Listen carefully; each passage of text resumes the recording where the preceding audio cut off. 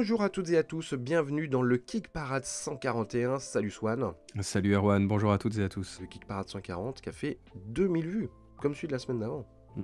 C'est cool, merci, merci beaucoup. Merci. Ouais. Bon, pas mal de jeux à couvrir cette semaine. On va aussi un peu parler, euh, je te l'ai pas dit, mais euh, de l'annonce de Mythic Game et Cool Mini or Not sur Hell et Anastir. Je sais pas si t'as vu ça. Mhm. Si, si, j'ai vu, euh, effectivement. On va en parler vite fait, Faut qu'on en parle. Voilà, il y a des grosses vidéos euh, dessus, donc euh, voilà, c'est juste pour vous le, pour vous dire un peu les grandes lignes. Et puis si vous voulez fouiller, euh, vous avez des collègues qui s'en sont chargés. Sachant qu'on sait que plusieurs d'entre vous nous ont indiqué que voilà, le, ils avaient pledgé le, le jeu à l'époque, et donc la moindre des choses, c'est qu'on Bah, essaie de vous tenir au courant dès qu'on a des infos. Dont toi. Pour elle, en tout cas, pas Anastir. Allez, on commence euh, par le top euh, 7 hein, euh, du, des sites euh, de sociofinancement. Ensuite, on va retirer dans les nouveautés. Et ensuite, les trois premiers, comme d'habitude. Dixième position, c'est Eve ou Eve War euh, for New Eden. Donc, euh, l'adaptation du jeu vidéo Eve Online. 368 000 euros, 1953 contributeurs et il reste euh, une grosse quinzaine de jours. J'en ai beaucoup parlé la semaine dernière parce que je suis un ancien joueur de Eve Online. D'ailleurs, euh, quelqu'un dans les commentaires euh, m'a indiqué qu'il était ancien joueur de Eve Online aussi. Je le salue. On s'est peut-être croisé dans l'espace. Qui sait Voilà, donc c'est un- une adaptation d'un gigantesque jeu vidéo euh, de, euh, comment on dit en français, massive. C'est- oui, c'est ça, c'est un MMORPG. J'étais d'accord avec euh, la personne en commentaire que c'était quand même bien décevant par rapport au, au jeu, euh, au jeu vidéo, quoi, qui est incroyable. Mm. Là, on se retrouve avec un 4X assez euh, banal. Il faisait la remarque que les figurines n'étaient pas très jolies. C'est vrai, je l'ai pas dit la semaine dernière, mais effectivement, c'est pas top. Surtout, les vaisseaux dans Eve Online, c'est un peu la base. Tu vois, c'est un peu la Mm. base de l'univers. Donc c'est un peu dommage. Après, ils ont fait une grande quantité, donc euh, bon. Mais c'est pas, ouais, c'est pas GGN, quoi. Alors j'ai vu quand même qu'il y avait un, il y avait des, une mécanique pour gérer les flottes de vaisseaux, ce qui est vraiment euh, quelque chose d'important dans Online. hein. Notamment quand tu es dans des secteurs euh, que tu peux euh, prendre avec. euh, où il y a de la prise de territoire. Parce que dans le jeu vidéo, il y a des coins où vous pouvez pas prendre le territoire. Puis il y a des coins très reculés où des alliances se font une guerre impitoyable pour prendre des secteurs, des systèmes. Donc il y a cette gestion de flotte, donc est peut-être un peu l'originalité par rapport à un 4X euh, ordinaire. Mais bon, pff, bon c'est pas Bah, en fait, décevant quoi. C'est un peu ça où tu dis qu'effectivement la, la campagne pour moi elle, elle échoue en partie puisque je vois que vous qui êtes d'anciens joueurs euh, finalement vous n'êtes pas spécialement euh, saucé par la, la, Non, proposition. Et c'est vrai que pour moi qui n'ai jamais joué aux jeux vidéo j'ai un peu du mal à voir en quoi il se démarque d'un autre 4X et forcément tu vois instinctivement tirer beaucoup plus vers les grands noms du genre qui existent déjà en termes de jeux de plateau. Bah, surtout c'est vrai que mal, hein. C'est un peu particulier quoi Ouais, ouais, ouais. Bon. Ouais, et puis cette précision, j'ai remarqué qu'il y a beaucoup de gens qui regrettaient l'absence d'un solo en fait. Parce que et effectivement, comme euh, on comprend, le jeu c'est un jeu online, donc tout était basé sur le, sur le multijoueur, mais je peux aussi Oh, comprendre que justement, Tu, peux avoir une peux- vie solo tu- hein, sur Eve Online.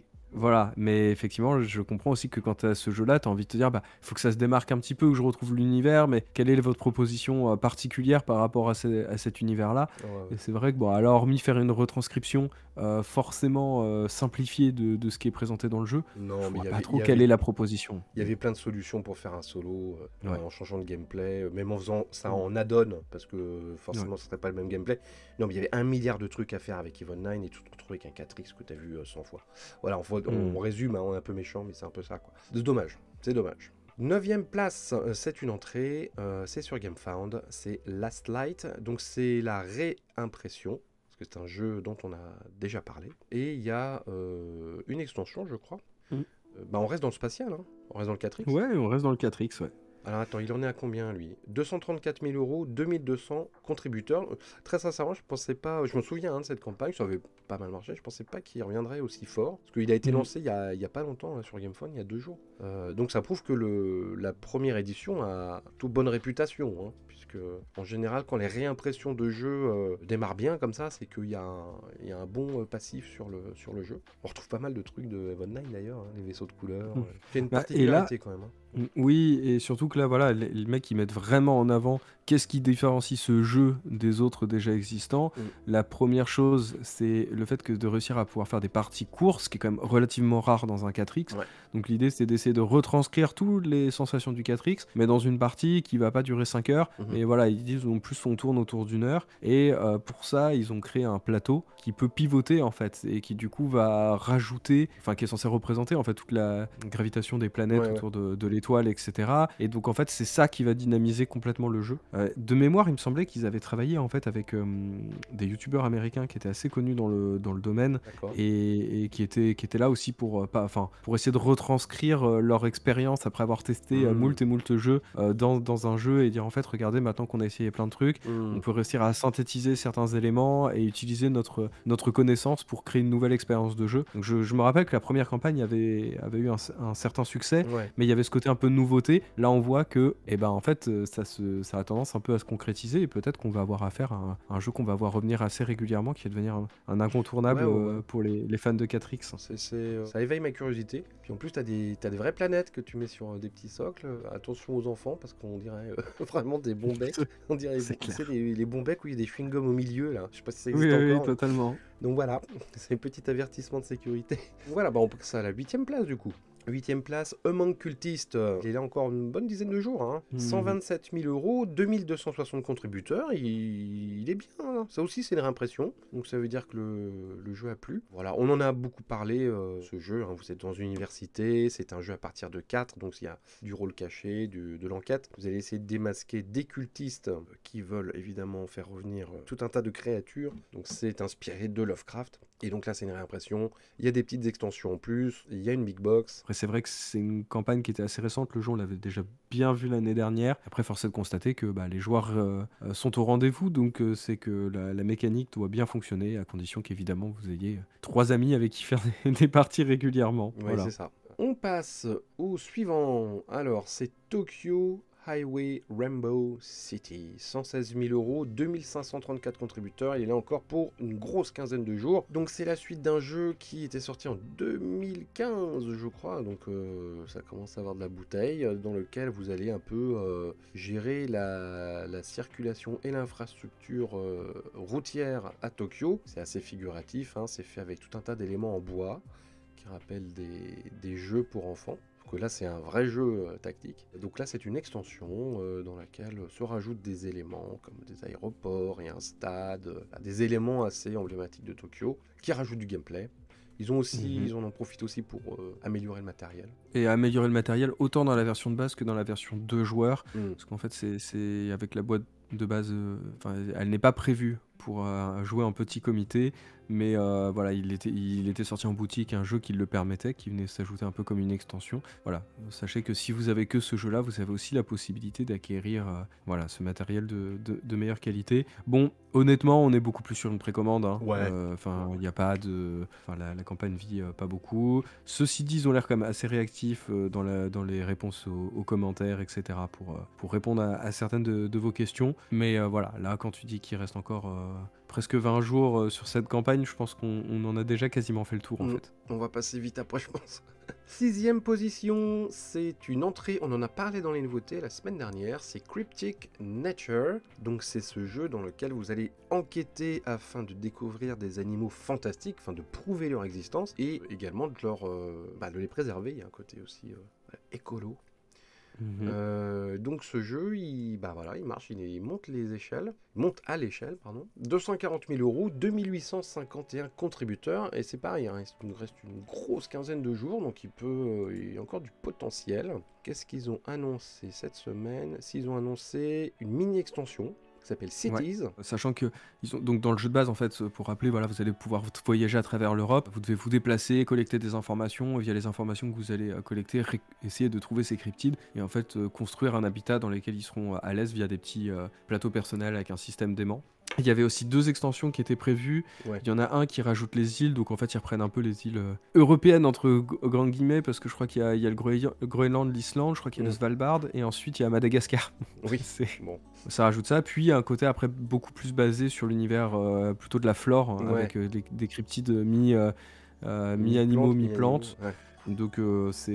Il y a un artbook aussi, Non, c'est cool ça. Oui, qui a- ouais, et qui, qui a l'air d'être assez conséquent. Ouais, Alors, hein. sachant qu'ils précisent, parce que c'est assez drôle, quand ils ont voulu présenter l'équipe, ils ont rajouté plein de, de photos donc générées par IA entre les membres de l'équipe, mais à côté d'un cryptide. Donc il y en a un côté du Bigfoot, l'autre à côté de, euh, comment, de- du, du lapin avec les cornes, etc., Ouais. etc. Mais ils ont quand même précisé, non mais là c'est juste pour la pour blague, ouais, mais sinon tout le, tout le reste, il n'y aura pas d'intelligence artificielle dans Ouais. les illustrations, etc. Ce qui effectivement est plutôt rassurant quand tu sais que dans l'édition collector, il y a cet artbook qui va être proposé. Donc euh, Ah bah si c'était vous- bien de le préciser. S'ils vendent un artbook euh, avec des imaginaires Mm. par IA, là c'est carrément du vol. Ensuite, on passe à la cinquième place avec le jeu de cartes Spire's End Rangitaki. Rangitaki. Rangitaki. Euh, donc voilà, donc c'est un nouvel épisode dans le- la gamme Spire's End. C'est du jeu de cartes, jeu de cartes narratif aventure. Mhm. Solo. Magnifique direction. euh, Solo, oui, t'as raison, complètement solo. Magnifique direction artistique. Voilà, là, on est dans un univers, parce qu'ils changent d'univers à chaque fois, euh, dans un univers un peu. On avait dit quoi Tribal euh, Tribal Fantasy? Ouais, je crois que c'est ce que tu avais trouvé comme qualificatif. Ouais. Ça marchait plutôt Ça bien. marche, ça marche. On va, on va valider pour, pour d'autres jeux plus tard. Ah, Donc voilà, on a eu un commentaire hein, euh, d'une personne qui y joue et qui euh, nous indiquait que il fallait quand même avoir un bon niveau en anglais, parce que lui avait un bon niveau anglais et c'était quand même de l'anglais soutenu sur les cartes. Donc voilà, donc si vous êtes intéressé, parce que je comprends, parce que ça a l'air cool, et que Hmm. vous êtes moyen moyen en anglais, euh, sachez que c'est pas le- l'anglais le plus abordable hein, euh, sur, les, sur les cartes. Voilà. Ouais, c'est vrai que c'est dommage de. On, on sent qu'en en France, on est toujours assez frileux sur les jeux comme ça qui sont 100% f- euh, solo. Ça arrive un petit peu, mais ça arrive vraiment avec beaucoup de, de, de retard par rapport à ce qu'on a pu voir chez, chez nos amis euh, américains ou, ou Mm. britanniques. On sent que ça y est, c'est vraiment ancré. On peut vraiment faire un jeu qui est uniquement solo. Et nous, on a vraiment toujours. euh, Enfin, alors on a vu quelques jeux comme ça qui Ouais. étaient sortis, mais avec ouais, presque presque 6 mois, un an de, de décalage. En tout cas, ça a l'air cool. Moi, je- ouais, je trouve ça chouette. Quatrième place, ce- c'est la dernière semaine de Mhm. Explorers of Navoria. Ça fait combien? 5 fois, 10 fois qu'on en parle Démarre 186 000 euros, 3237 contributeurs. Voilà, il reste quelques jours, ça va se finir ce week-end. Bah, très belle carrière hein, sur Oui. Kickstarter. Ouais, ouais. Bah, souvent, on sait, euh, on l'avait évoqué, puisqu'il dans ce- cette petite émission de rentrée, juste après les fêtes, où on se dit, bon, voilà, c'est le genre de jeu où il y en a, ils utilisent un petit peu cette percée, où il y a un peu moins de gros jeux qui sortent pour tenter de faire leur trou. Mais là, force est de constater que le mec est quand même resté en position. Ah oui, Euh, c'est pas fait alors que non, il y a eu des, des grosses campagnes qui sont quand même passées par là, Mm. et il a toujours réussi à être dans le, dans le top 10, donc ça montre bien que, euh, enfin, en tout cas, la proposition euh, était plutôt convaincante. Ouais, tout à fait. Avant de passer aux trois premiers, notre détour par les nouveautés. Donc en nouveauté, on va commencer par un jeu de prise de territoire dans la romantique. Un de plus, Swan, un de plus, Hmm. qui s'appelle Triumph. Il y a une VF, donc euh, c'est pour ça qu'on en parle aussi. 491 contributeurs, il démarre petit. Alors c'est étonnant parce que tu vas sur la hotlist de BGG, hein, le site euh, un Mhm. peu référence hein, euh, qui s'appelle Board Game Geek. Il y a toujours une petite hotlist, c'est-à-dire les jeux les plus attendus du moment. Euh, Alors je sais pas comment c'est calculé, du coup euh, ça m'a fait Mhm. poser des questions. Et il est premier. Donc je comprends pas trop euh, comment un jeu qui fait 492 contributeurs euh, peut être premier. Bon Ah, voilà, je, je- si vous avez une bizarre. explication. Mais euh, bon voilà, donc c'est un, c'est un, un jeu de, de civilisation, politique, euh, construction, euh, gestion de ressources, dans la romantique. On en a vu beaucoup, beaucoup, beaucoup, hein, beaucoup. Bah, sachant qu'en plus cet éditeur, il, il en a fait un petit peu sa spécialité parce que c'était lui qui avait sorti euh, Hannibal il y a quelques temps, puis Mm. ensuite il avait enchaîné avec euh, Successors, qu'il a été plus sur le côté euh, grec. Et là voilà, on arrive sur Triumph, donc on peut presque voir ça comme une sorte de, de trilogie de jeux qui reprend une esthétique qui est assez similaire. donc voilà, je trouve que le. Mais le problème, c'est que, enfin, voilà, si, si t'as Successor, pourquoi tu prendrais Triomphe Enfin, hormis de choisir ton camp entre euh, est-ce que tu préfères les Grecs ou les Romains, mais c'est vrai qu'en termes de gameplay, etc., je vois rien qui le démarque particulièrement de, Bah, de, de ses prédécesseurs. J'aime beaucoup l'esthétique. Hein. T'as eu Voilà, Age of mais- Rome qui, est- qui a été livré Voilà. il y a pas longtemps, je crois, qui avait l'air super, avec un, un plateau circulaire tournant. Donc là, c'est un peu pareil que Even 9, euh, sauf que là, ça a l'air plus joli. Mais euh, ce que je veux dire, c'est que c'est des trucs qu'on a déjà vus. Après, il y a toujours des nouveaux joueurs qui arrivent aussi. Hein. Faut, faut pas Mhm, oublier ça. Il y a des joueurs, euh, des gens qui arrivent dans le domaine, on va dire, et euh, qui tombent là-dessus, qui n'ont pas de, tu vois, qui ont pas de jeu de civilisation. euh, ça s'adresse pas forcément aux jeux, aux, aux gens qu'on a déjà, euh, ou ça s'adresse aux, aux- vraiment aux joueurs de civ hardcore, qu'on a déjà Mhm. 5 et qui veulent piocher dedans. Mais bon voilà, faut aussi, euh, ouais, faut aussi savoir qu'il y a toujours des nouveaux joueurs qui arrivent dans le, dans le milieu. Et c'est aussi pour eux euh, qu'il y a des jeux qui nous semblent nous répétitifs, mais euh, qui peuvent intéresser voilà, des gens qui viennent de débarquer dans, le- dans, dans cette, dans ce merveilleux univers. Voilà, donc Triumph, euh, c'est sur Kickstarter et c'est, euh, il a le label Project We Love. Ça veut pas dire grand chose, je pense. mais bon. Donc on va passer de la romantique au Japon médiéval, Mhm. avec, euh, enfin médiéval, euh, vite fait, Ouais. euh, avec un jeu sur les ninjas qui s'appelle Ninja Ah Unleashed. Alors, Mm. il y en a pas beaucoup des jeux sur les ninjas. hein. Il y avait eu un, jeu de- un petit jeu de cartes il y a pas longtemps. Enfin, il y a pas longtemps, il y a Mhm. genre ça fait quelques mois. Mais des, des jeux de plateau de ninja, euh, j'ai pas le souvenir euh, qu'on a eu tant que ça. Bon, il commence petit, 214 contributeurs. Il est là pendant un mois. Peut-être qu'il va drainer du public. Bah, c'est c'est de la baston. Oui. Mais sur un plateau, donc euh, vous, avez, vous pouvez booster euh, vos, vos combattants, vous pouvez prendre des coéquipiers. euh, Est-ce qu'il y a de l'équipement? A peut-être de l'équipement aussi, je sais pas. Oui, il y en a, il y en a un petit peu. Il y a la, la possibilité effectivement de conquérir une espèce de map avec. euh, c'est- une espèce de conquête de territoire sur une, une map vue du dessus. Mais après, tous les affrontements se font euh, via des plateaux euh, plus sur une sorte de- d'affrontement de, de cartes. hein. Il y a quelques figurines, mais le cœur du jeu va vraiment être basé sur ce, sur ce, ce jeu de cartes. en fait. Voilà. Il y a des figurines, ma foi, qui sont vraiment pas terribles.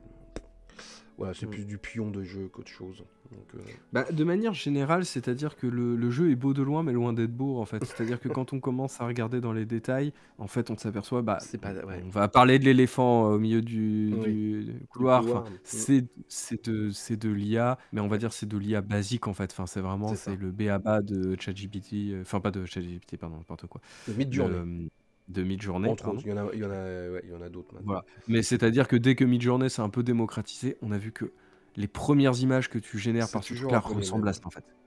Alors que je C'est- peux faire plein de trucs en fait. Mais euh, c'est vrai Oui. que quand tu connais pas bien les prompts, hein, ça peut être des prompts, Mm. hein, les mots-clés que tu mets, bah finalement ça te génère un petit peu le même truc. Alors ce qui est Ouais. drôle, Et c'est qu'à la fin ils en parlent. Ouais. Tu vois, ils disent oui, nous allons utiliser de, de l'image IA pour. euh, voilà. Et euh, il y a la question est-ce que vous, entre guillemets, pillez des œuvres euh, existantes? Il dit non, non, non, non, c'est pas du tout parce que nous utilisons IA avec des prompts, justement, des phrases basées sur des idées originales de notre team working, de notre, de notre équipe artistique. Ah oui, mais dès que tu mets des prompts sur, euh, sur Midjourney, euh, ça va chercher dans... Alors à moins qu'il ait trouvé un moyen que ça pompe uniquement dans une base de données privée. Je sais pas si c'est possible techniquement. Je sais pas y a des spécialistes de Midjourney qui nous écoutent, mais... Bon. Donc euh, je trouve que la réponse est un peu hypocrite, quoi. Et puis en- tout ça pour ça, en plus, euh, franchement, euh, putain, c'est pas super beau. Bah, c'est vrai que quitte à utiliser euh, enfin, ce genre de logiciel, bah, autant essayer de, de- de créer sa propre patte aussi. Parce que je veux dire, en soi, aujourd'hui, c'est un outil qu'on va voir se démocratiser. Mais là, en fait, le problème, c'est que tu as l'impression que c'est amateur, même sur l'utilisation de, euh, de, de l'IA. Bah alors que bah, la moindre des choses, c'est d'être vraiment calé sur Ah le bah oui. sujet. Parce que, comme tu le disais, aujourd'hui, on voit quand même une nette amélioration. Les gens, c'est presque devenu un travail à part entière que de réussir à trouver justement ces bons prompts pour euh, euh, créer les cartes ou alors à la limite tu peux t'en servir ça pour gé- gérer, générer pardon, une idée de base et ensuite il y a quelqu'un qui repasse derrière pour ajouter sa patte. Là on a vraiment l'impression, c'est euh, bah, d'ailleurs on le voit, ils font toute la promo sur le fait que vous pouvez leur envoyer une photo euh, et ensuite eh ben, ils vont vous, in- enfin, vous intégrer aux cartes du jeu. Ouais, ouais, bon, on va le faire nous-mêmes, hein. c'est ça le problème. c'est ça le, le truc. Et puis après, bah voilà, le problème c'est que même en termes de gameplay, ça a pas l'air incroyable. Le Ouais. jeu a l'air assez difficilement lisible parce qu'il joue beaucoup sur ce côté euh, très sombre, très machin. Alors on Mm. comprend, c'est l'univers des ninjas, ce que tu veux, mais à côté de ça, il y a plein d'effets de particules, il y a plein d'effets de, de lumière à droite à gauche, et ce qui fait qu'une fois le, le plateau euh, déployé, bah je suis pas forcément convaincu voilà, de l'ergonomie du, du, du truc. Allez, suivant. On va finir avec deux, deux jeux post-apo. Ah On va commencer d'abord sur Kickstarter. Bon, les deux sont sur Kickstarter d'ailleurs, je raconte n'importe quoi. Le premier, c'est Runation Blood Sworn. Donc, c'est une extension pour Runation qui était sortie en 2021. Et là, nous sommes dans un futur lointain euh, et nous sommes sur le continent eurasien. hein, donc, de Brest à, euh, au fin fond de la Sibérie. hein. Et euh, c'est un combat entre les factions pour le pouvoir, hein, tout simplement. Il y a un petit côté Aussi, ce jeu de cartes à deux, euh, qui était très euh, post-apo euh, néon. J'aime beaucoup, Mhm. beaucoup. Euh, donc voilà, donc là c'est une extension qui rajoute des chefs. Alors, en fait, il y en a deux des extensions. Il y a cette extension qui rajoute des- effectivement des chefs et puis des nouvelles action cards, donc il reste quand même, on va dire, dans l'esprit général du, du- du gameplay au- enfin, original. Mais il y a aussi l'extension pour ajouter le, le mode solo. Ah, Voilà. ça. Donc voilà, donc c'est Colossal Games qui fait ça, donc c'est des, des gens de métier. Mhm. Euh, il en est à 318 contributeurs pour l'instant. Il est là pour euh, un peu moins de 20 jours. S'il y a des gens qui euh, ont joué à Runation, vous êtes les bienvenus pour nous faire votre retour sur ce jeu. Deuxième jeu post-apo de la semaine, on l'avait loupé, on nous a fait remarquer, eh, vous n'avez pas parlé de Storm Raiders Et bah oui, bah, des fois on loupe des trucs. Donc merci de nous avoir tiré l'oreille. Et en plus c'est quand même un auteur assez connu qu'il a fait. Et oui, parce que c'est Sean Phillips qui est aux commandes.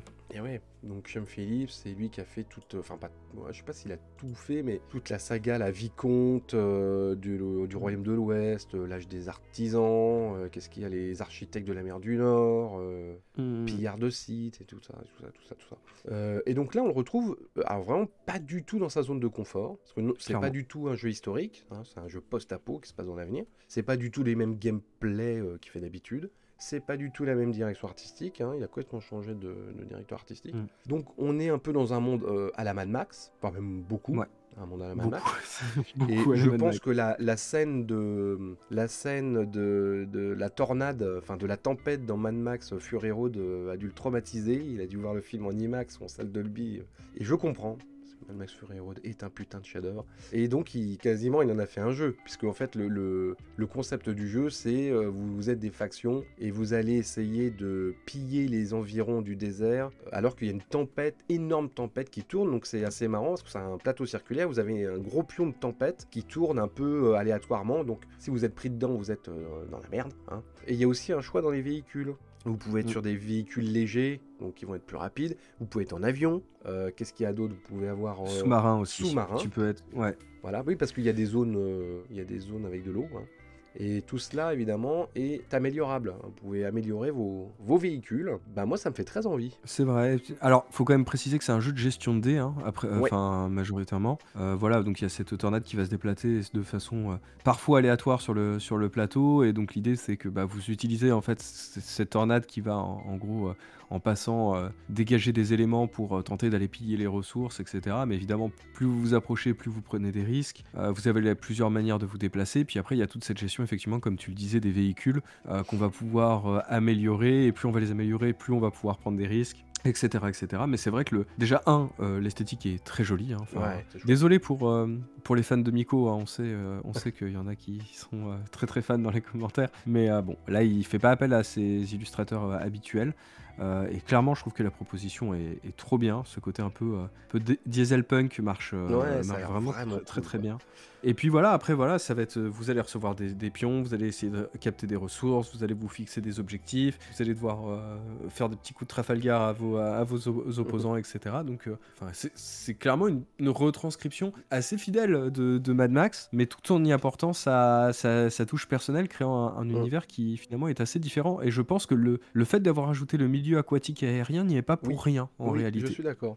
Et 57 euros la boîte de base, euh, ce qui est euh, mmh. franchement. ce qui est tout à fait, euh, tout à fait honnête. Bon, après, on sait tous que vous allez, si vous prenez le jeu, on sait tous que vous allez vous précipiter sur la version de luxe. Hein.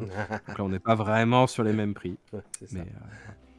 Bon bah nous on a fini les nouveautés, on va aborder juste la news un peu de la semaine. C'est-à-dire que si vous êtes backer de Hell, de la saga ou de Anastir, vous avez forcément reçu un mail de la part de Mythic Games et de la part de Simone, alias Cool Mini or Not, qui vous indique quoi? Eh bien qui indique que les deux jeux, Hell et Anastir vont être repris par Cool Mini or Not, donc l'énorme éditeur de Zombicide, Marvel United, etc., etc. Donc, bon, ça implique plein de choses. On va essayer de résumer pour pas y rester 3 heures. Hein. Cool Mini or Not va reprendre les deux jeux. Ils font un geste pour les backers. Moi, je suis backer de L. Voilà, je suis intéressé. Ils vont recevoir la boîte de base gratuitement entre guillemets, parce qu'il va falloir quand même payer euh, la TVA et les frais de port. Hmm. Donc c'est un geste que fait Cool Mini or Not.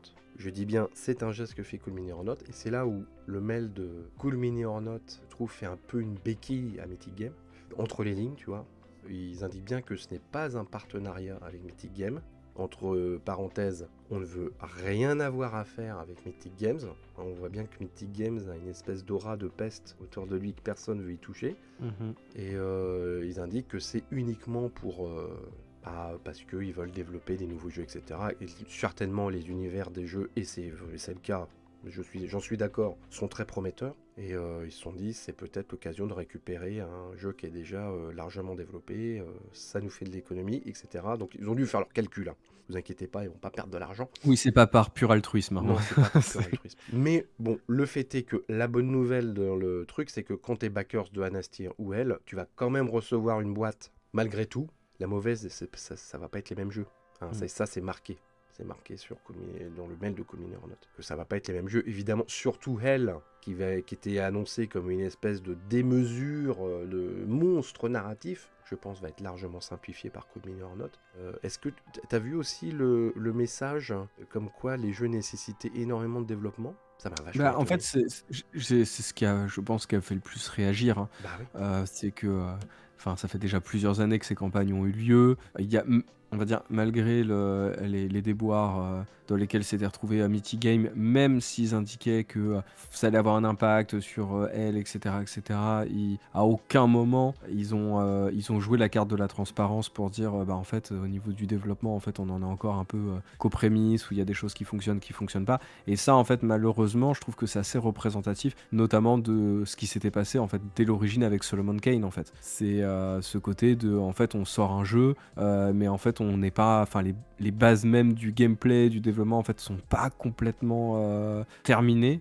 Euh, je sais que ça avait fait le même effet avec Darkest Dungeon derrière, et c'est là où tu dis bah ouais mais là en fait il y, a un problème en fait, et ouais c'est vrai aussi. tu dis c'est là où il y a un problème. Et c'est vrai que quand tu vois que euh, t'as coup de mini note qui revient qui dit mais en fait alors oui les jeux alors, ils existent, on va reprendre l'IP, on va bah, devoir les modifier, peut-être les rendre un peu moins ambitieux qui, que euh, la manière dont ils avaient été vendus à l'époque, mais en plus, vous allez devoir payer un poil plus cher et vous allez devoir attendre encore longtemps parce qu'en fait, le développement, il est, il est loin d'être terminé. Et c'est vrai que, bon, bah, ah, je trouve malheureusement que ça, ça cristallise un petit peu ah bah oui. non, mais une partie des problèmes de Mythic Game de l'époque, en fait. Moi, c'est ça qui m'a le plus choqué. Alors, Anastir, bon, moi, je suis pas backer d'Anastir, le jeu est plus récent que elle. Donc peut-être que mm. effectivement ça demande du développement encore. Euh, mm. Dans Hell, ça fait combien? 3 ans? Enfin, c'est hallucinant. Ils ont même fait une vidéo l'année dernière, une grosse vidéo hein, d'une heure, de deux personnes qui, ne travaillent pas à Mythic Game et qui sont dans l'entourage, hein, qu'on a déjà vu dans des lives, qui faisaient un retour sur leur expérience parce qu'ils avaient fait tout Hell en jeu. Et c'était un gros retour d'expérience euh, détaillé qui était très bien d'ailleurs. Je comprends pas alors. Soit Cool Mini or Not fait un tacle à Mythic Game, soit mm. ils se disent soit les jeux vont tellement changer que tout est à revoir et donc ça nécessite un énorme développement, soit Mythic Game a menti en disant oui les jeux ils sont presque prêts, machin, bidule, euh, regarde et puis en fait pas du tout. Donc je, ne sais pas où est la vérité. Hein. Je ne sais pas où est la vérité. Mais euh, c'est quand même assez euh, écœurant quoi. C'est assez mmh. écœurant euh, de savoir. Surtout que, enfin, moi, Anastir, ça me, ça me parlait pas. Mais euh, Hell, euh, sur le papier, c'était génial. Ouais, cette espèce de, de, grand jeu d'aventure viking, narratif. et là, tu te dis, bah, forcément, avec Minor Note, ça va être simplifié. Il n'y aura plus la même ambition. Mmh. Mais en même temps, tu te dis, bah ouais, mais eux, au moins, ils sortent leur jeu, quoi c'est bien d'essayer de faire un truc, euh, tu vois, le, plus gros jeu, c'est ce qu'ils annonçaient, hein, euh, Mythic Game. C'est euh, le jeu le plus complexe qu'on ait jamais fait, je les crois. Bah ouais, mais les gars, si vous êtes incapables, en fait, ils sont incapables de gérer leur développement de jeu, en fait. C'est ça qu'on voit, quoi. C'est non seulement ce sont des mauvais gestionnaires d'argent, hein, ça, personne ne peut dire le contraire. Mmh. Si tu dis le contraire, c'est que tu es quand même un peu de mauvaise foi, parce que la preuve, ils sont quasi en faillite. Hein. Donc sinon, ça serait pas le cas. Deuxièmement, bah en fait, ils savent pas développer leur jeu. Et ça, c'est quand même euh, hyper décevant, quoi. Donc bah, sachant qu'en plus, à l'époque, parce que bon, après voilà, on on n'est pas non plus dans les rouages, dans les coulisses, etc. Et on sait que euh, ça peut, enfin, pas, ça peut paraître simple sur le papier, mais ça l'est pas forcément. Il peut se passer plein de choses, sachant qu'il y a traversé du Covid. Mais ce qu'il faut aussi savoir, c'est que euh, ça a eu énormément de conséquences euh, sur les salariés qui travaillaient avec eux, avec euh, des gens qui ont été licenciés, euh, on va dire, bah, déjà avec la fermeture du, en grande partie de, la société, mais même avant, en fait, il y a eu pas mal de va-et-vient en termes de turnover au niveau des salariés, des conditions de travail qui n'étaient pas forcément au beau fixe. Donc ça, c'est quelque chose, en fait, au-delà même de blâmer Mythic Game, c'est qu'il faut vraiment tirer des leçons de ce qui s'est passé dans cette société, de façon à ce que ça ne se reproduise plus et que les gestionnaires de Mythic Game, s'ils restent dans le monde du jeu de plateau, il va falloir vraiment qu'ils apprennent aussi de ces erreurs-là. Et, puis, bon, bah, il va falloir prendre euh, des cours de management et de finance parce que c'est quand même pas possible. En bah, fait, et de, développement de, jeu aussi. Hein, je suis désolé. Euh, mm.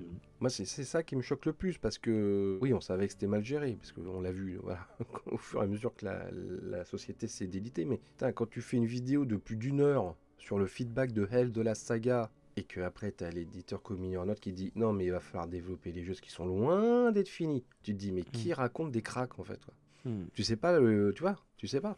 Hmm. Ou alors, euh, voilà, ou, le, ou ça veut dire que le jeu ne va plus rien avoir. Donc, euh, voilà, on sait pas trop. Enfin, bon, le résultat est le même. Vous allez attendre beaucoup, dont moi. Hein. Vous allez attendre beaucoup. Euh, la bonne nouvelle, c'est quand même, on va avoir un jeu au final. Ça pas, ça sera pas le même prix. Alors, par contre, ceux qui ont pris les all-in, hmm. mes amis, bah, vous l'avez dans le popotin. Hein. Les gens qui ont foutu 300 ou 400 balles dans Hell ou, ou Anastir, il n'y a pas de deal avec Communion Note là-dessus.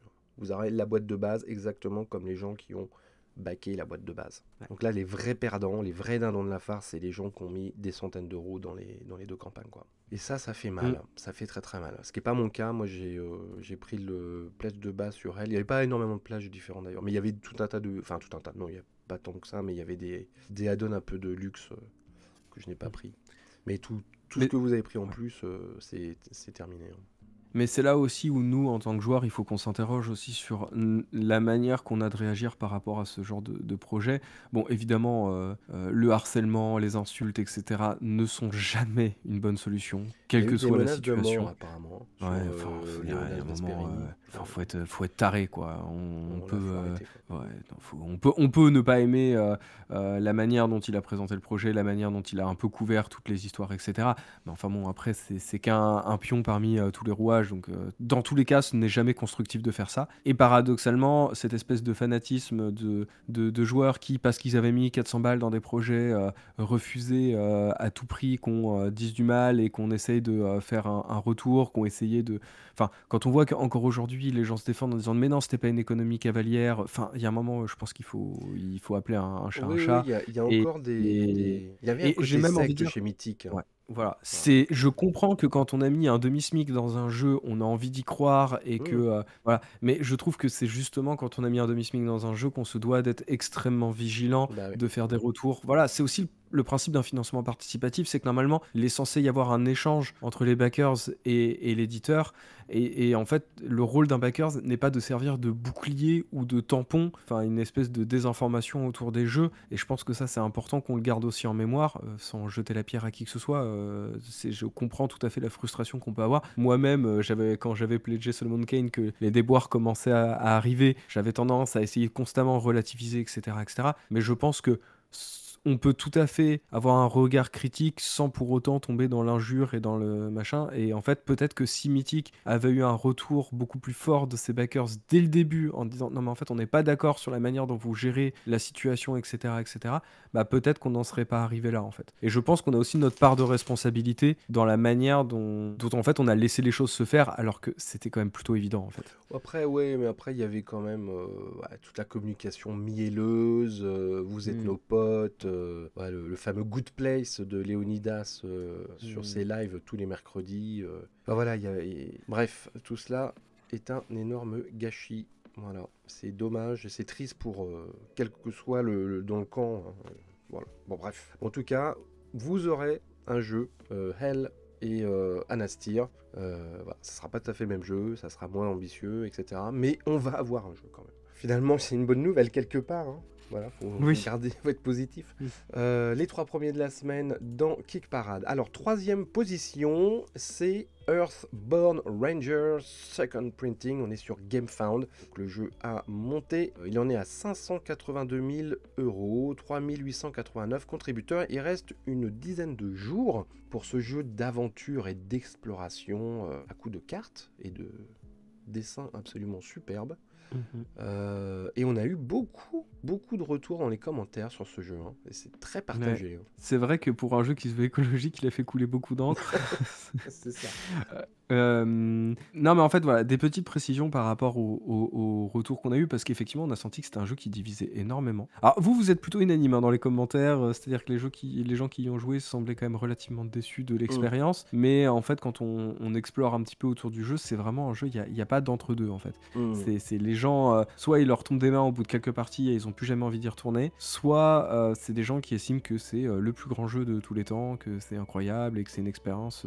voilà. Donc, ça montre quand même le côté un peu euh, singulier du jeu. Ce qu'il faut savoir quand même, c'est que c'est les gens qui sont derrière ce jeu, c'est des anciens de Fantasy Flight qui avaient notamment bossé pour euh, Horror Arkham, euh, le JCE, mais aussi Le Seigneur des Anneaux. Donc c'est pour ça qu'on retrouve toute cette mécanique à base de, de voyages, de conditions à remplir sur les cartes, etc. Et il faut savoir aussi que c'est une réédition, mais même au niveau de l'extension, parce qu'en fait elle avait été proposée, cette extension sous forme de campagne, dans la, première page Kickstarter, mais c'était vraiment un add-on, c'était pas autant mis en avant, c'était une boîte, euh, on va dire, euh, assez, euh, assez fade dans un coin, etc. Là, ils ont vraiment décidé d'upgrader complètement le matériel. D'ailleurs, ils le précisent, hein, pour ceux qui avaient pris le all-in lors de la précédente campagne, c'est pas la peine de repledger, en fait, vous recevrez non pas le packaging qui avait été présenté dans cette première campagne, mais bien celle de cette nouvelle campagne. En fait, vraiment, ils ont décidé de complètement upgrader ça. Je pense qu'ils ont décidé aussi de tenir compte des retours, hein, puisque on voit que le côté euh, cette absence euh, de, véritable objectif défini, d'aller un petit peu là où le vent nous porte, etc. Ça avait déstabilisé plein de joueurs. Donc là, ils partent vraiment sur une campagne qui est beaucoup plus orientée en fait sur les objectifs à accomplir. Donc ça va être une expérience de jeu qui va être un petit peu différente. Force de constater que avant de vous jeter sur le jeu, vraiment, on vous invite à regarder euh, des vidéos de gameplay, de machin. Il y en a plein, mais qui vous donnent quand même une petite idée sur comment ça se passe. Parce que pareil, on parle de tech building, mais en fait, on ajoute très très peu de cartes. Donc vous allez retourner beaucoup avec les mêmes cartes pendant, pendant euh, les, dizaines d'heures que constitue euh, le jeu. Donc voilà, tout ça, c'est des éléments quand même dont il faut tenir compte et on vous invite vraiment à vous renseigner avant de, mettre 90 euros dans le, dans le jeu. Sachant que pour l'extension, euh, Intrafin n'a toujours pas communiqué par rapport à ça, que ce soit dans la précédente campagne comme dans celle-ci. Le jeu, là, il est sorti en novembre, je crois, en boutique. Donc je pense qu'ils attendent de voir un petit peu comment le, jeu se vend avant de faire des retours. en tout cas, pour l'instant, il n'y a pas de garantie de VF sur, sur cette extension. Deuxième place, euh, allez, ce sont les derniers jours de Monty Python, Holy Grail Board Game. Ouais. Hmm. si un jour on m'avait dit que je serais saoulé des Monty Python, j'y aurais jamais cru. Et bah 4430 euh, contributeurs, 244 000 euh, dollars. Donc ça a été un, ça a été un, très beau succès. Très beau succès hmm. pour un jeu très moche. Et qui n'a pas l'air d'avoir grand intérêt. Donc ça, ça, hmm. restera un des mystères de, de ce début d'année. C'est vrai. Voilà. Donc euh, nous, on, a, on en a le bol, donc on va passer au suivant, Alors, sachant ah, que, alors la première semaine, on vous a quand même parlé du, euh, du, euh, du, petit pion poule moche. Ah. Ensuite, il y a eu le petit pion cochon moche, et maintenant il y a les fameuses noix de coco. Bon, après, là, pour rater des noix de coco, fallait vraiment le vouloir, donc ça va. Ils ont même raté, non, si, ils ont quand même même raté le. Ouais, ils ont un peu raté, oui. Oui, c'est vrai qu'il on, dirait une, on dirait une boule de bowling. C'est vrai qu'ils auraient pu mettre un, au moins du blanc sur la, face basse pour bah le côté euh, notre coco vers en deux. Oui, non, en fait, je retire ce que j'ai dit, c'est un peu voir. Non, mais il n'y a, rien, y a rien qui va. Il y a rien qui va. on laisse tomber. Nouveau number one cette semaine. Donc, c'est une entrée, nouveau jeu. Et un Français en chasse un autre, Swan. Mm-hmm. Puisque le numéro 1 de Kick Parade cette semaine, c'est Altered TCG. Déjà 1 456 000 euros, 4567 contributeurs et il est là pour près d'un mois. Comme son nom l'indique, c'est un TCG, Trading Card Game, ou JCC en français, jeu de cartes à collectionner. Donc nous sommes dans euh, l'univers des jeux de cartes où on s'affronte, Pokémon, Magic, c'est quoi le troisième qui cartonne là, c'est Blood? Ah, Je sais plus, j'ai un trou de mémoire, Blood machin. Il y a le jeu de, Disney aussi là, qui cartonne mhm. aussi qui, que je ressens pas d'ailleurs. Il y a celui de Star Wars qui arrive au mois de mars, là, Star Wars Unlimited. Donc euh, dans ce marché ultra concurrentiel, eh bien, Altered, jeu français, a réussi à tirer son épingle du jeu parce qu'il fait un démarrage absolument canon sur Kickstarter. Alors il faut dire qu'ils ont fait une com d'enfer. Ça fait des mois, des mois et des mois que ils font de la com euh, dans tous les sens, hein, euh, digital, euh, avec boutique, sur leur Discord. ils ont créé, vraiment essayé de créer une communauté. Ils ont été dans tous les salons. J'ai moi-même joué à Altered avec notre ami Mathieu au festival de Vichy. Vous pouvez voir la vidéo d'ailleurs, on en parle où il y a des images. Et donc on est sur un univers fantastique euh, dans lequel des, euh, vous allez pouvoir jouer euh, différentes factions. Alors je crois que pour l'instant il y en a 6, 6 il me hein. Mm. J'aime beaucoup la direction artistique. Je trouve ça très chouette. C'est un peu fantasy, steampunk. Alors après, ça dépend des factions. Hein. Il y en a plus ou moins marquées. rétro-futur. Ouais, j'aime beaucoup. Je trouve ça très très joli. Et le jeu est vraiment très bien. Vraiment très bien. Parce que ça change un peu. Il y a une originalité, c'est que au lieu de vous voilà, taper des cartes et de, avec des pouvoirs, etc., c'est le cas, mais il y a aussi au milieu une espèce de map tout en longueur. Et le but, c'est d'amener, il y a un pion de chaque faction, c'est pour deux joueurs évidemment, euh, qui est euh, à chaque bout de cette espèce de rivière euh, qui représente des biomes de la planète. Évidemment, ça change selon la partie. Et il faut rejoindre votre compagnon, une espèce de familier en fait, qui va être un peu plus loin sur la rivière. Et le premier qui, qui rejoint ce compagnon a gagné la partie. Donc c'est pas, voilà, c'est plus original que, euh, que euh, beaucoup de ce genre de jeux, parce qu'il y en a énormément qu'on voit sur Internet, enfin sur Internet, sur Kickstarter, pardon. Les TCG, il y en a beaucoup. Euh, donc il y a vraiment une originalité. Le jeu est bien, enfin nous on avait vraiment apprécié avec Mathieu. c'est très beau. Gros effort pour le matériel annexe, hein, pour les box, les boîtes de rangement, les sleeves, voilà, il y a tout, tout ce qu'il faut. Mais il y a un truc qui gêne Swan, je sais qui me gêne un peu aussi. Euh, voilà, mais ça fait partie. Mm. Alors, juste pour faire la transition avec toi, euh, vous verrez, bah, vous avez vu les images, hein, elles sont passées évidemment derrière euh, pendant que je parlais. La pub pour le jeu, c'est quasiment une pub télé, qui est très bien faite d'ailleurs, et on ne voit jamais une seule carte. Ce n'est que du digital. Et il y a une raison pour ça, c'est que Altered va énormément s'appuyer sur son application et sur le numérique, sur la numérisation du TCG. Et c'est là où Swan euh, rentre en action pour euh, faire le, la, transition digitale. La transition digitale Non, en fait, ce qui est intéressant, bon, encore une fois, c'est que euh, l'idée de reprendre les mécaniques de Magic dans un, gameplay qui n'est pas basé sur le combat, tu dis enfin, enfin quelqu'un qui se dit on peut essayer de faire autre chose, c'est plutôt original. On est à affaire quand même à des vétérans puisque c'est le, créateur de Libellude hein, qui est derrière le jeu, donc c'est le mec qui est derrière Dixit, Mysterium, Diceforge, voilà. Mais en fait, effectivement, on sent que c'est un jeu qui est vraiment ancré dans son époque. On l'a vu, hein, il y a une espèce d'effervescence du marché autour des, des, cartes d'un côté. Mm. D'un autre côté, il y a cette espèce de naissance du, du NFT qui est un peu compliqué à, expliquer, mais c'est cette idée d'avoir euh, une possession numérique qui va en fait prendre de la valeur, etc.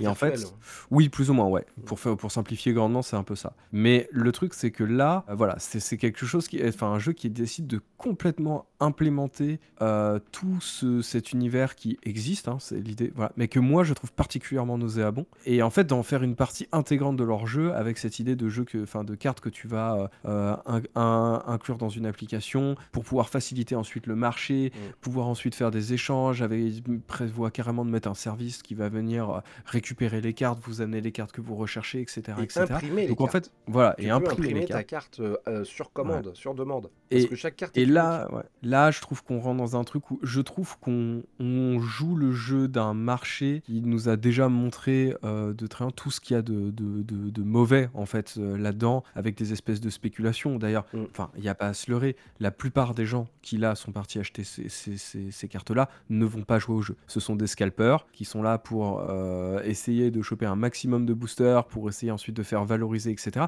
Donc on est beaucoup plus dans un truc de, de, de dans une campagne cotée en bourse que dans une, euh, dans une, vraie campagne autour d'un jeu qui arrive à unir les gens, etc. etc. Là, c'est des gens qui investissent. les, pour attirer les scalpers aussi, c'est ça qu'on peut leur reprocher. Hein. Exactement. Ils ont vachement appuyé sur le côté carte unique, euh, marché en mm. ligne, etc., etc., etc.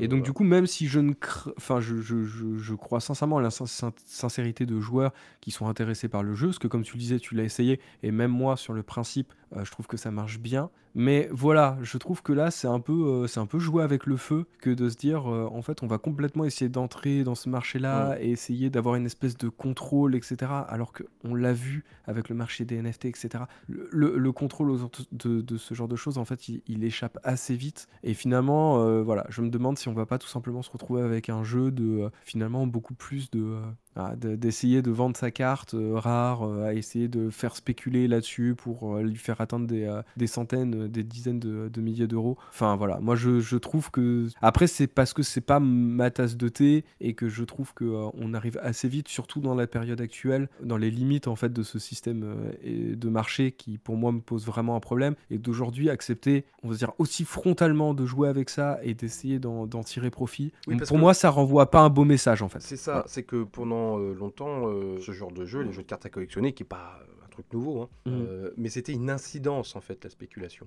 C'était une incidence parce que des fois il y a des cartes qui devenaient rares parce qu'elles étaient fortes ou des fois ils faisaient des, des- des sorties un peu collector. euh. Mais voilà, c'était là il y a vraiment un désir et c'est pas euh, irrespectueux de le dire puisque j'ai vu la conférence de presse des voilà de- du directeur du projet qu'il a dit clairement que c'était un de leurs objectifs, c'était de surfer sur, euh, sur la spéculation. Donc euh, voilà, on peut pas me, reprocher d'être méchant, parce que c'est- l'un des projets du truc. Voilà, après, ça plaît ou ça plaît pas, moi c'est- pas la partie des jeux de cartes que je préfère, très sincèrement. Voilà, bon. Après, ça me traumatise pas non plus, euh, bon, voilà, j'en fais abstraction, même si ça m'agace aussi un peu comme toi.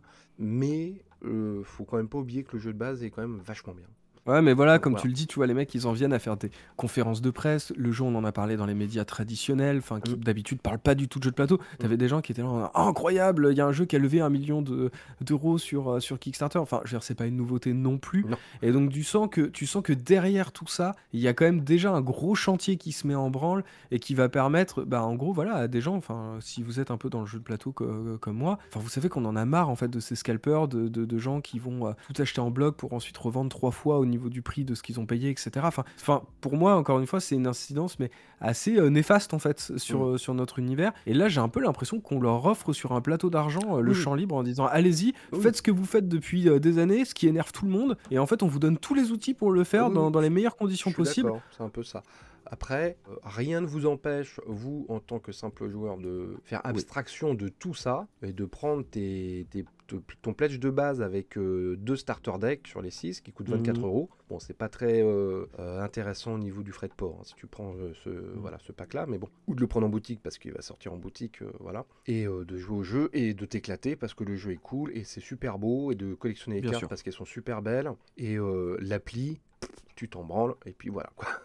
Donc voilà, faut pas, faut pas non plus. euh, je- euh, dans les grandes lignes, je suis vraiment d'accord avec toi, mais faut Mm. pas oublier que derrière, il y a un beau jeu. Oui, c'est vrai. Dans son style, hein, C'est vrai. qu'après, faut aimer Tout le, à fait. faut Oui, aimer oui. le JCC. Non, non, mais là-dessus, euh, t'as as raison de le préciser. Et, et évidemment, mon, mon discours n'a pas. Bah, déjà, il est très orienté. hein, et, et- et je peux tout à fait comprendre que pour vous, vous y voyez pas d'inconvénient. C'est juste moi, ce que je trouve assez euh, rebutant. Et ce qui, pour moi, est un peu la tâche sur un- un- une campagne qui, pour moi, est, est plutôt intéressant. Effectivement, le jeu, je- comme je le disais en, en préambule, je trouve que la mécanique est, est vraiment sympa. Et je me suis dit, tiens, ça me fait plaisir aujourd'hui de voir que on peut faire des- ce style de jeu-là qui soit pas orienté sur le combat, sur d'autres manières de jouer, etc. Donc euh, le, le jeu a plein d'avantages, si ce n'est effectivement cette espèce de QR code sur les cartes qui vient un petit peu pourrir, je trouve quand même, Bah, voilà. euh, on va dire le design des, de cartes qui sont super jolies, qui sont vraiment travaillées pour, mais en gros t'as euh, t'as un gros carré blanc en bas, euh, c'est un peu dommage. D'ailleurs, si vous êtes dans les environs euh, de Créteil, on ne sait jamais, euh, il y a une euh, présentation du jeu le 16 février chez Mathieu, donc au Troll Savant. Euh, voilà, donc il y a les- une partie de l'équipe qui vient euh, avec des, des paquets, des starter decks, j'imagine, et ils vont vous faire jouer à Altered. Donc euh, si vous êtes dans le coin ou pas très loin, que ça vous intéresse, n'hésitez pas. Je crois qu'il faut s'inscrire par contre sur le. vous allez sur le Facebook du Troll Savant, euh, il y a les trucs pour s'inscrire aux soirées. Faut pas, on peut, vous pouvez pas venir comme ça, les, les mains dans les poches, parce que les, les places sont limitées. Et puis il y aura peut-être euh, de la carte promo offerte, hein Swan Qu'on pourra vendre Mhm. sur l'appli. Évidemment.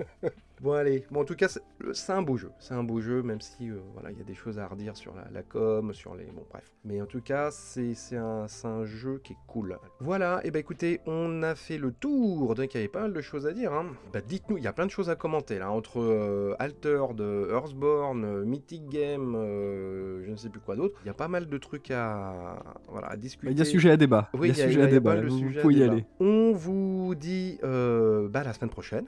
Salut Swan. Tout à fait. Et Salut Erwan. à bientôt. Ciao.